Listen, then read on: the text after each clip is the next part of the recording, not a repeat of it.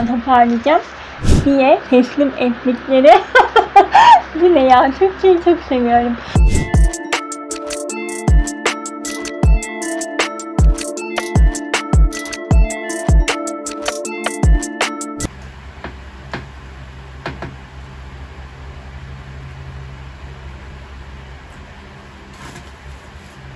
Merhabalar, nasılsınız? Umarım iyisinizdir. Umarım her şey yolundadır. Uzun bir aradan sonra kitaplardan konuşmaya geldim. Bayağıdır kitaplarla ilgili video çekmiyorum. Okuma hızım da birazcık yavaşlamıştı. Hazır okuma motivasyonum da artmışken, bu aralarda güzel kitaplar okuyorken Dedim ki neden yazın okunacak kitaplar listesi vermiyorum. Geçenlerde videolarımı izleyenler bilir. Karavanın içinde kitaplardan birazcık konuşmuştum ve hani yazın okunacak kitaplar listesi hazırlayayım demiştim. Önce kendime hazırlayayım diye düşündüm. Sonra dedim ki, ki beni izleyen, kitaplarla ilgili düşüncelerimi, fikirlerimi merak edenler için bir rehber niteliğinde bir video olsun. Tabii ki bu kitaplar kendi kitaplığımdan seçtiklerim ve benim okuduklarım. Hepsi neredeyse okuduklarım ya da yarısına kadar okuduklarımdan seçildi. Tabii ki illa alın bunları okuyun demiyorum. Bence şöyle yapalım. Siz de kütüphanenize bakın, kitaplığınıza bakın. Yazın okunacak kitaplar listesi oluşturun ve yorumlara yazın olur mu? Birlikte paslaşalım çünkü yazın kitap okumak birazcık zorluyor. Hatta şu an video çekerken vantilatörü açtım. Ses geliyorsa kusura bakmayın lütfen. Çok sıcak yani sıcaklar arttı ve kitap okumak da birazcık zorluyor şu an. Kışın konforu yok. Battaniye altında okuduğum kitapların keyfi olmuyor yazın. Birazcık zorluyor.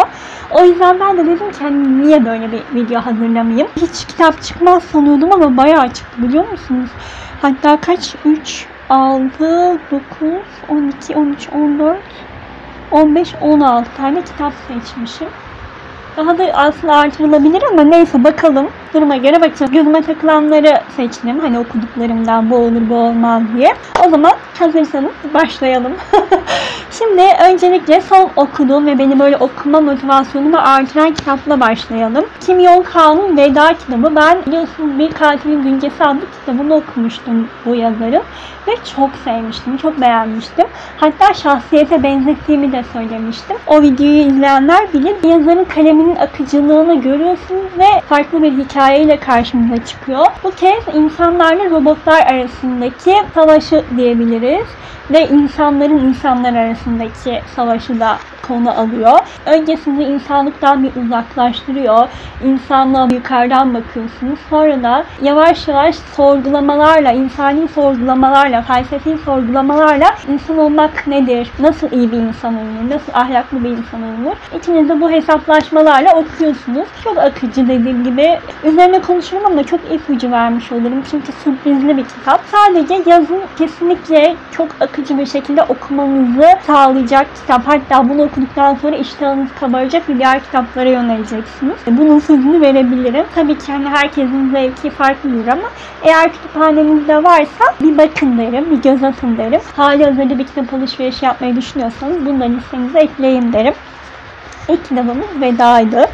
Yine aslında o yazardan gidebiliriz. Onu da almış olmam lazım. Ee, bir evet burada hemen şuradan şöyle çekeyim. Yine aynı yazarın bir katilin güncesi Kim Yong Ha. Ben bunu okuyalı aylar oldu. Yani aylar önce okumuştum. Hatta bazı videolarımda da bahsetmişimdir. Hani buna özel bir video çekmedim ama çok severek okumuştum. Yani dili çok basit burada. Sade ve basit aslında. Hani çok böyle e, okumaya yeni başlayanlar için mükemmel bir başlangıç olabilir. Okuma pratiğini geliştirenler için de bir nefes alma, bir soluklanma kitabı olabilir. Eğer kurgu dışı kitaplar, felsefi kitaplar veya ağır kitaplar okuduysanız, acı dolu romanlar da okuduysanız bununla bir soluklanabilirsiniz ya da yazın bu kitabı severek okuyabilirsiniz diyerek devam edelim. Şu an okuduğum kitap şu kadar kaldı. Yani diyorum ya ki okuma motivasyonum bu aralar çok iyi. Nazar değmesin. Bundan sonra da Kas Kafanın kitabına başlamayı istiyorum. Yeşilin Kızı Eni, Eni Eni adlı isimle biliyorsunuz Netflix'e uyarlamış. Aslında ben bunun önce dizisini izlemiştim. Pandemi döneminde, karantina döneminde Eni Eni ile tanışmıştım. Mükemmel bir kurgu, mükemmel bir karakter ve mükemmel karakterin kitaptan nasıl da güzel yansıtıldığını da görüyorsunuz. Yani en iyi, en iyi okuduktan sonra kitabını da okumak istedim. Aldım ve başlamak istedim. Ben sadece bu kitap sanıyordum. Meğer bu elimiz, elimiz 8 kitaplık seriden oluşuyormuş. Tıpkı Harry Potter gibi. O yüzden onun görselini de buraya bırakırım. Alacağım en kısa zamanda ve okuyacağım. Serinin ilk kitabını okumuş olurum. Zaten bu videoyu yayınlayana kadar da muhtemelen biter. Bugün de birazcık okuyacağım.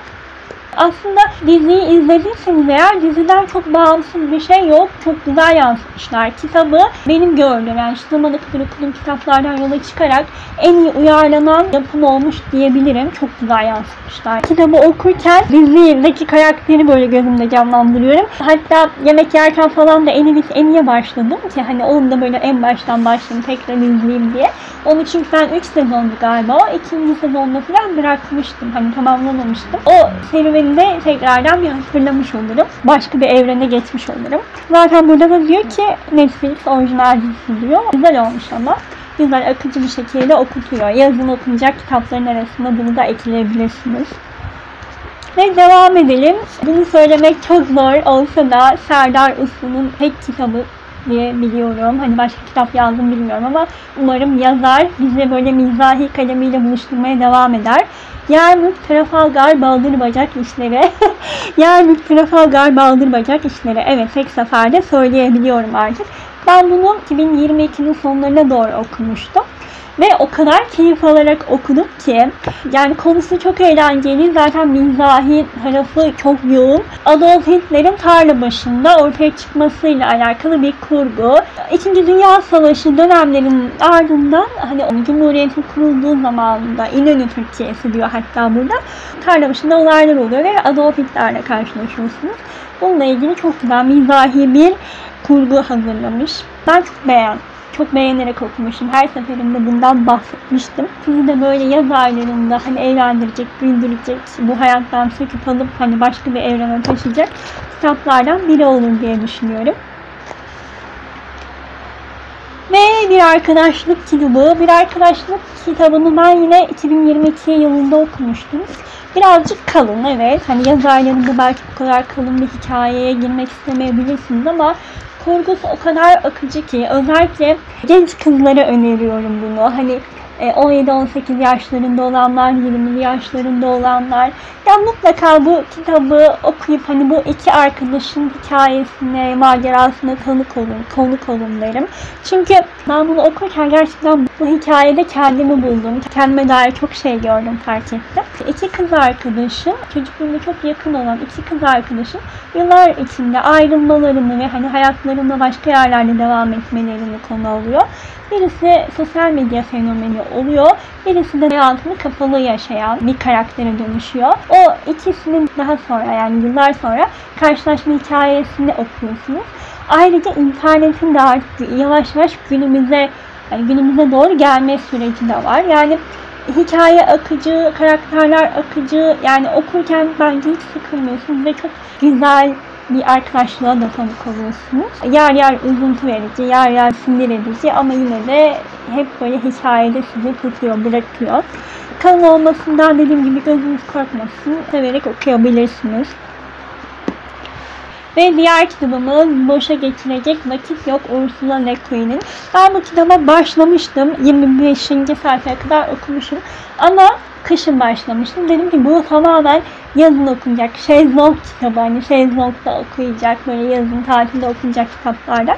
O yüzden bıraktım. Okuma motivasyonum devam ederse buna başlayacağım. Yani şöyle bakın e, ayraçlı koymuşum. Devam edeceğim. Belki sizlerin de hoşuna gider. Hani belki kitaptan haberiniz yoksa da haberdar olun. Bir ara okumak isterseniz diye tavsiye etmek isterim.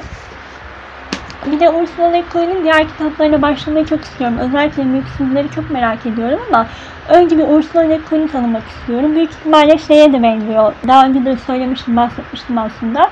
Mina Urgan'ın Bir Dinozorun Anıları kitabına da çok benziyor. Onu almış mıyım? Onu almamışım. Ondan da bahsedelim o zaman. Onu kütüphanemde var ama şey yapmışım. Bu arada çok karıştırdım ben öyle kitapları alırken.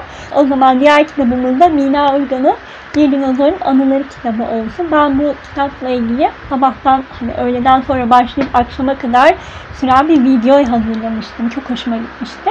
O yüzden o kitabı da okursanız çok sevinirim. Yani yaza iyi gidecek diye düşünüyorum. Bir de videomu da izleyin.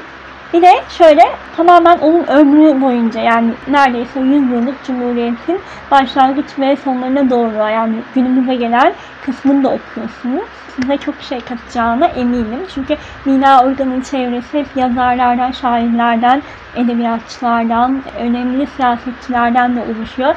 Atatürk'le dans eden ilk içkisini Atatürk'ün elinden içen bir kız çocuğundan bahsediyoruz. Kendisi de çok donanımlı, kendisini çok yetiştirmiş, geliştirmiş, eğitmiş bir insan. Ben buradan hemen uzaklaşıyorum çünkü saatlerce konuşabilirim. Hatta Mina Urgan'ın Bir Gün Olurum Gezileri kitabı da var. Onu ben hala okumadım. Onu da okumayı çok istiyorum. Belki siz de hani listenize almak istersiniz yazın okunacak kitaplara iyi gider diye düşünüyorum. Gökten düşen şeyler. Ben yine bunu geçtiğimiz aylarda okumuştum. Hatta belki 2022'nin sonlarına doğru olabilir. Bu çok garip bir kitaptı bu arada. Karakterlerin başına olmadık kişiler geliyor. Hani dünyada bu kimin başına gelir deseniz bu kitapta hepsi var neredeyse. Birine 5-6 kez yıldırım çarpıyor. Birine milli piyango 3-4 kez çıkıyor. Yani mizah tarafı da çok ama birazcık da ürkütücü yanı da var. Ama kesinlikle akıcı olacağını düşünüyorum. Zaten bölüm bölüm yazım puntoları da büyük olduğu için sizi sıkmaz, yormaz diye düşünüyorum. Yine tüm başlarıyla çıkmış bu da. Evet, çok hızlı gidiyorum ama çok kitap olduğu için muhtemelen. Diğer kitabım Balkan Blue. Bununla ilgili videolarımdan birinde ufak bir bahsetmiş olmam lazım. Okuduklarımın arasında söylemiş olmam lazım. Bu da yine öykülerden oluşuyor. Yunanistan öyküleri. Oo, kitabın sayfası Yunanistan'da geçen öyküler biraz da mülteciler hakkında, sığınmacılar hakkında. Onlarla ilgili kitap ama yazarın kafası farklı çalışıyor ve böyle her seferinde şaşırttı beni. Her hikayede şaşırtmayı başardı. Hem biraz da Yunan kültürüne aşina olmak hem de Yunanlıların mültecilere nasıl baktığını, nasıl yaklaştığını okumak için değerlendirebilirsiniz. Ve bence daha önce de söylemiştim Yunanistan'la bizim ülke arasındaki sınırdan da dolayı galiba hani yakınlığımızdan da dolayı coğrafi konumdan diyelim çok benzeşim gösteriyoruz karakterler olarak deyip geçiyorum. Bir gün kediler dünyadan yok olsaydı. Bu da çok tatlı bir kitap.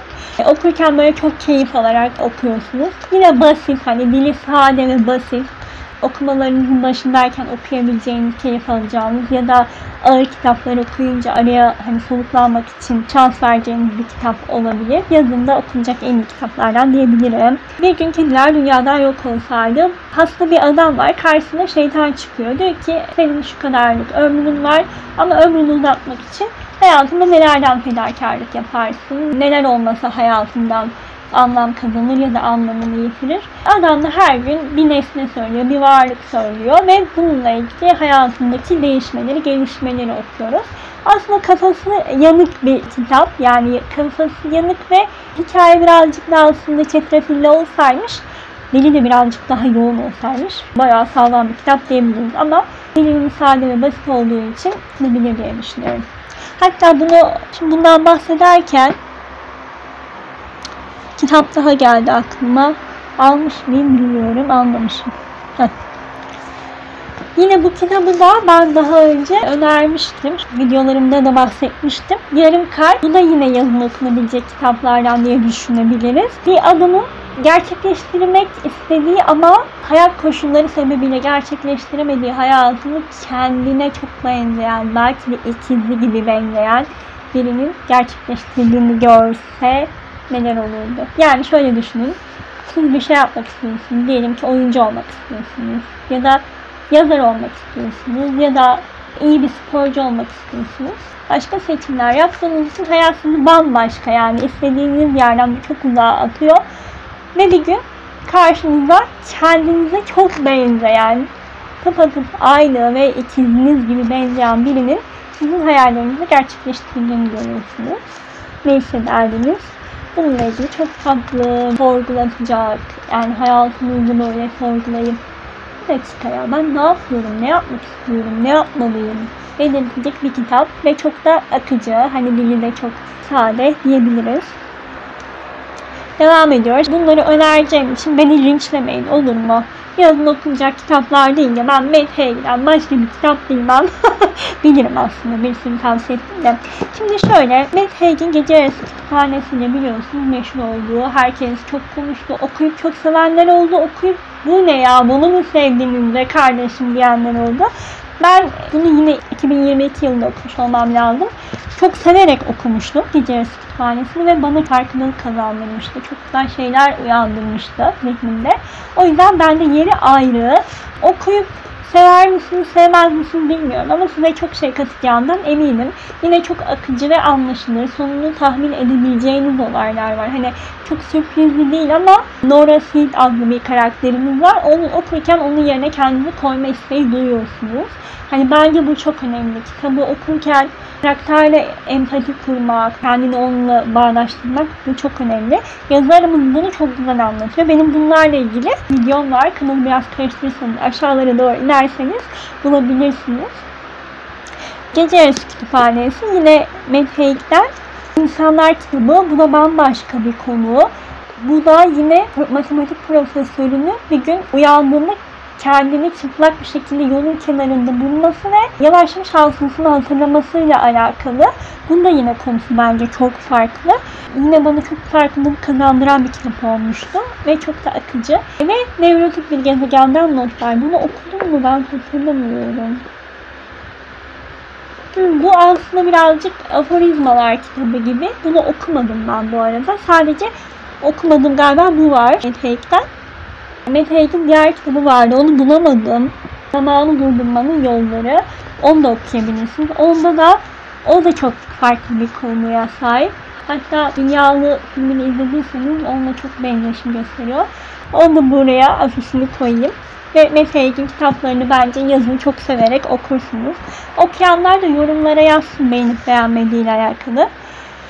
Eh, Diğer kitabımız Dünyanın Ruhu. Bu da birazcık felsefi sorgulamalarla, dini sorgulamalarla yazılmış bir kitap. Bunu okurken çok böyle anda kalmak denir ya, meditasyon yaparsın da anda kalırsın o şekilde hissettim. Hani bu kitabı okumak bana onu hissettirdi. Yine bir böyle dünyanın sonu hikayesi. Bir felaket olacağını öğrendiğinizde neler yaparsınız? Dünyadaki bütün dinlerin bilir kişileri bir yerde toplanıyor. Bir mabette toplanıyor ve dünyayı bizden sonra sizler temsil edin diye teslim ettikleri bu ne ya? Türkçeyi çok seviyorum şöyle diyebiliriz. Bir felaket bir dünya geldiğinde o iki gence bilgeliğin sırlarını veriyor. Bu bütün dinlerden gelen alimler diyebiliriz, bilir kişiler. O dinlerin temsilcileri diyebiliriz. Müslüman, Hristiyan, Yahudi, Budist, bu dinlerin hepsinin temsilcileri aslında bir yerde toplanıyor.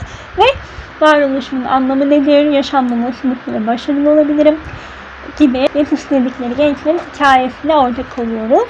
Ben birazcık karmaşık anlattım ama hiç bu kadar karmaşık değil. Siz okuyun karar verin diye düşünüyorum. Diğer kitabımız da saç örgüsü. Yani bu yazın okuyacak kitaplar konusunda akıcılığı evet akıcı ama birazcık sarsıcı bir kitap. Üç kadın, üç kıta, üç hikaye, üç varolmuş saygısı. Bir taraftan hayatta kalma mücadelesi ve bir taraftan da toplumuyla, içine doğduğu coğrafyayla uğraşma mücadelesi. Farklı her kıtadan üç kadının hikayesini okuyoruz. Kanada, Hindistan, İtalya isminden de anlaşıldığı gibi bir saç örgüsü, bir saç bu kadınları birbirine bağlıyor. İçeriğine değinmek istemiyorum. Hani sürprizi kaçmasın ama bence bu kitaba bir şans verin derim. Ve çağlar arasında çocuklar yine bununla ilgili video yapmıştım. Salinger ilgili uzun bir araştırma yapmıştım ve onunla ilgili düşüncelerimi söylemiştim. Ben yine buraya bırakırım kartları ama siz yine kanalı birazcık karıştırırsanız bulabilirsiniz. Aşağılara inmeniz lazım. Çağlar tarlasında çocuklar bence yazında, kışında, sonbaharda da ilkbaharda da okunabilecek bir kitap. Bilmiyorum karakteri sevebilir misiniz? Holden Caulfield. Ben Hala sevip sevmediğimden emin değilim ama iyi ki okumuşum diyorum. Yani okuduğuma mutluyum aslında sevincini. Diğer kitaplarını hala üstüme gelmedi ama okumayı istiyorum.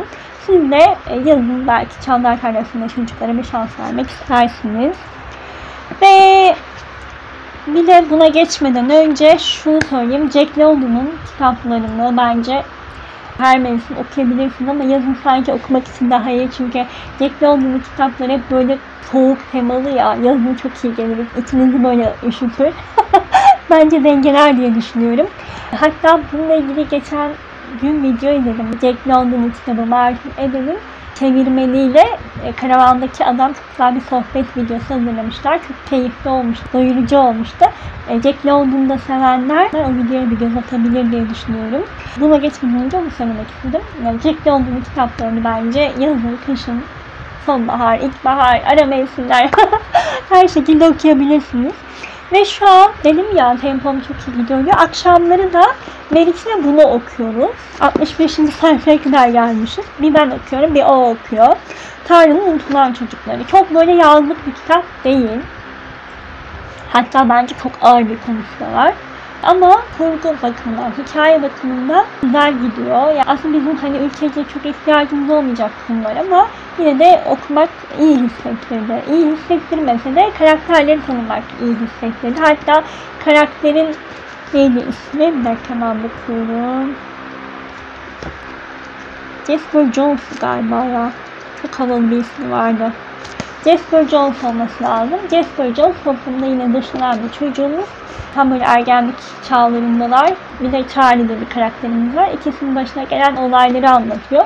Hatta dedim ki Jasper Jones ne kadar havalı bir isim. Tamamen Holden Caulfield gibi bir karakter. Hatta bunu okurken de Bülbül'ü öldürmek kitabına da çok benzetmiştim. Ben o kitabı 200'lerin ortasında bıraktım. Bu mu en iyi kitap dedikleri diye ama tekrar ben onu bitirmek istiyorum. Yazarımız da Harper Lee yani Bülbül'ü öldürmek kitabının yazarını çok seviyormuş, çok beğeniyormuş. O yüzden bir benzeşim var gerçekten. Görmeden bunu söylemek benim için iyi oldu. Holden Caulfield'dan da bahsediyor aslında. Mükemmel Tarlası'nın çocuklardaki karakterden. Yani karakterimiz olan Charlie çok kitap okuyan, kitaplarla arası çok iyi olan bir karakter.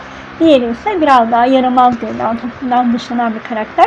Onların arasındaki ilişki ve başlarına gelen olay üzerinden sorgulamalarını okuyoruz. Bu da güzeldi. Bu hani beni bayağı bir meraklandırıyor, heyecanlandırıyor. Ne olacak acaba diye merak ediyorum. Bir de buraya baktıkça mesela şu da olabilir. Yazın okunacak kitaplardan biri. Bununla ilgili yine bayağı videomda konuşmuştum. Okurken o kadar eğlendim ki kahkaha attım. Ben hiçbir kitabı okurken kahkaha atmamıştım. Geçenlerde de yine başladığım dedim ya Eni with Eni. Onu da okurken çok kahkaha atıyorum. Çok eğlenceli. Bunu da okuyabilirsiniz. Bu da çok eğlenceli. Bira'nın tarihini aslında çok eğlenceli bir şekilde ele almışlar. Bunda yine okuduğum kitaplar bittikten sonra buna başlayacağım. Kas Kafanı kitabı. Bunda da yine iki arkadaş öyküsü. Birisi çok uyanık, birisi biraz daha sakin gibi. Ee, yine iki zıt karakter, iki farklı karakterin başına gelenler. Bunu çok seven de var, sevmeyen de var. Ben en iyisi dedim karar vermek için. Acele etmeden önce okuyayım. Bunu da okumayı çok istiyorum. Evet baktıkça böyle göreceğim. hiç bakmayın. Çünkü kitaplara hiç bakmayın. Bunlarla ben çok terledim, bunu aldım. Bayağı da bir kitap önerdim aslında. Bayağı da yazın okunacak bir sürü kitap varmış. Yani aslında şöyle ben okurken çok keyif aldım. Hani yazın da böyle sıkmayacak, konusu hafif kitaplar önermeye çalıştım.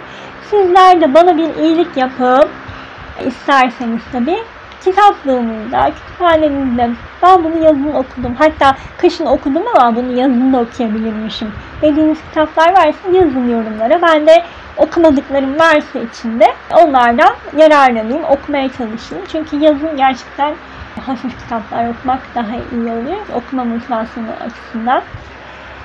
Evet, daha da fazla uzatmayalım. Benden bu kadar diyelim. Kendinize çok iyi bakın küçücük dünyamızda, kendi bireysel dünyamızda mutlu kalın, kitaplarla kalın, hoşçakalın.